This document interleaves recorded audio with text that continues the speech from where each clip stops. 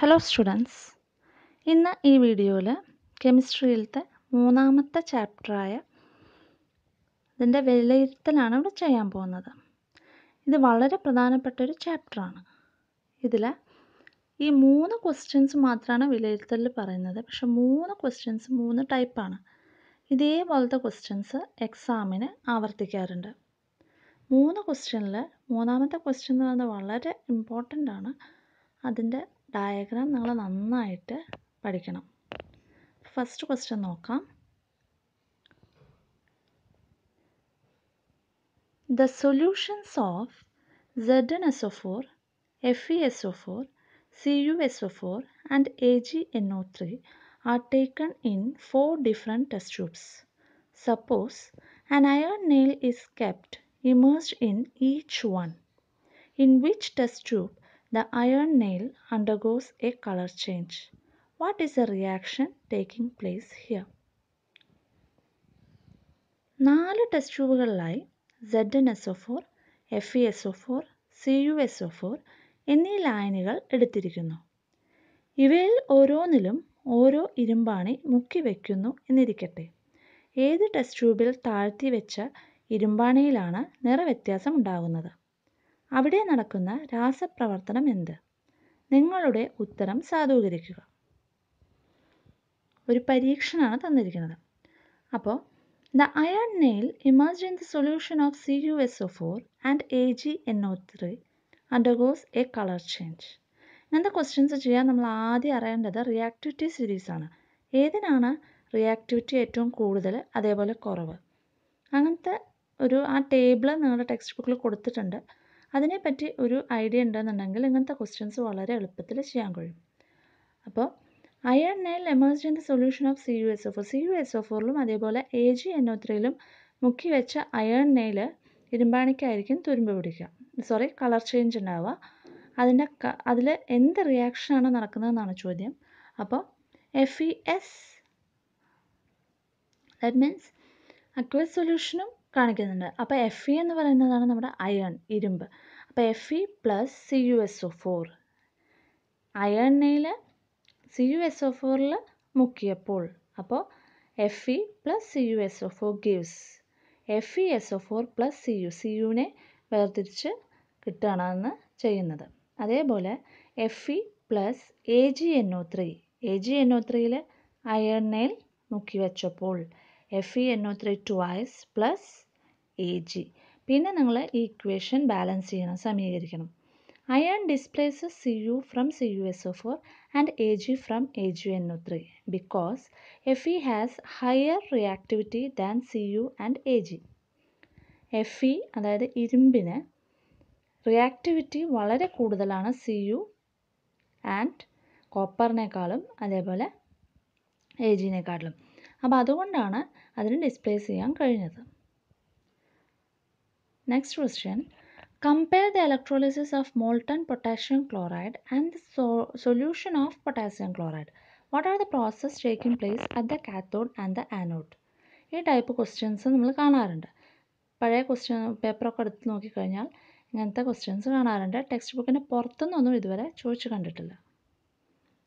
ഉരുകിയ potassium chloride potassium chloride ലായനി എന്നിവയിലൂടെയുള്ള വൈദ്യുത വിശ്ലേഷണം താരതമ്യം ചെയ്യുക. കാത്തോഡിലും ആനോഡിലും നടക്കുന്ന പ്രവർത്തനം എന്ത് കാത്തോഡിലും ആനോഡിലും നടക്കുന്ന റിയാക്ഷൻ എല്ലാ ആക്ടിവിറ്റീന്റെയും നിങ്ങൾ ഓർത്ത് വയ്ക്കണം അതിൽ molten K C L K C L എങ്ങനെയായി നിൽക്കും K plus plus C L minus ആയിട്ട് നിൽക്കും at the negative electrode K plus plus one electron. Gives K.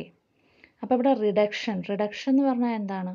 Reduction എന്ന് പറയുമ്പോൾ ഇലക്ട്രോണിനെ സ്വീകരിക്കുക. ഇലക്ട്രോണിനെ ആക്സെപ്റ്റ് ചെയ്യുക. അതാണ് കെ പ്ലസ് പ്ലസ് ഒരു ഇലക്ട്രോൺ ഒരു ഇലക്ട്രോണിനെ ആക്സെപ്റ്റ് ചെയ്ത് കഴിഞ്ഞാൽ അത് വെറും കെ ആയി നിൽക്കും. Then the positive electrode positive ഇലക്ട്രോഡിൽ chlorine C L minus എങ്ങനെയാവും? C L two plus two electron oxidation റിയാക്ഷനാണ് ഇവിടെ നടക്കുന്നത്.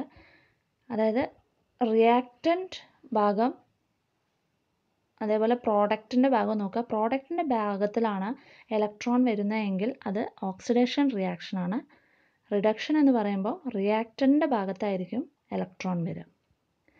അതായത് ആരോ മാർക്കിന്റെ ലെഫ്റ്റിലാണ് ഇലക്ട്രോൺ വരുന്നത്. അതായത് K plus plus one electron അങ്ങനെയാണ് വരുന്നതെങ്കിൽ അത് റിഡക്ഷനാണ് ആരോ മാർക്ക് കഴിഞ്ഞതിന് ശേഷമാണ് ഇലക്ട്രോൺ വരുന്നത്. അതായത് C L minus give C L two plus two E minus അതിൽ റൈറ്റ് സൈഡിലാണ് ഈ ഇലക്ട്രോൺ വരുന്നത്. അങ്ങനെയെങ്കിൽ അത് ഓക്സിഡേഷൻ റിയാക്ഷനാണ് കാരണം ഇലക്ട്രോൺ റിലീസ് ചെയ്യാണ് ചെയ്യുന്നത്.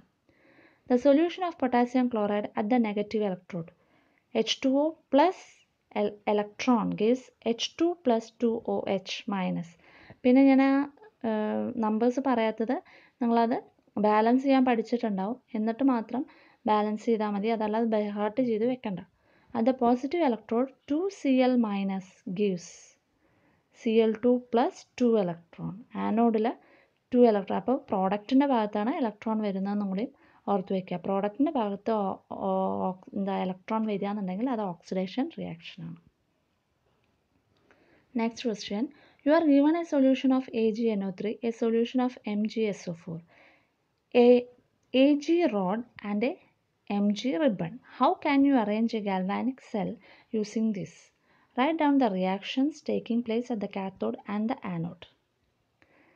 AgNO3 ലായനി M G S O four ലായനി എ ജി ദണ്ട് എം ജി റിബൺ എന്നിവ നൽകിയിരിക്കുന്നു ഇവ ഉപയോഗിച്ച് ഗാൽവാനിക് സെൽ എങ്ങനെ ക്രമീകരിക്കാം കാഥോഡിലും ആനോഡിലും നടക്കുന്ന രാസപ്രവർത്തനം നിങ്ങൾ എഴുതുക അങ്ങനത്തെ ചോദ്യങ്ങളും ഇതേ ടൈപ്പ് ചോദ്യങ്ങൾ നമ്മൾ കാണാറുണ്ട് ചിലപ്പോൾ എ ജി ത്രീ തന്നെ തന്നോളണമെന്നൊന്നുമില്ല അതുകൊണ്ടാണ് പറയുന്നത് റിയാക്ടിവിറ്റി സീരീസ് നിങ്ങൾ നന്നായിട്ട് പഠിക്കണം.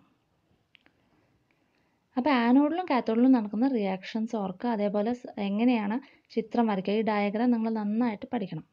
അപ്പോൾ എം ജിയുടെ ഇതുണ്ട്. അതേപോലെ എ ജി തന്നിട്ടുണ്ട് എന്ന് പറഞ്ഞു. പിന്നെന്താ പറഞ്ഞത്? M G S of solution തന്നിട്ടുണ്ട്. അതേപോലെ എ ജി എൻ സൊല്യൂഷൻ തന്നിട്ടുണ്ട്. സോൾട്ട് ബ്രിഡ്ജ് നടുവിലായിട്ട് ഈ ചിത്രം നമ്മൾ നന്നായിട്ട് പഠിക്കണം ഈ അറ്റ് ആനോഡ്. ആനോഡിൽ എന്താണ് നടക്കുന്നത്? ആനോഡിൽ M G gives M G two plus plus two L two E electron two E electron പ്രോഡക്റ്റിന്റെ ഭാഗത്താണ്. ദാറ്റ് മീൻസ് ഓക്സിഡേഷനാണ് നടക്കുന്നത്.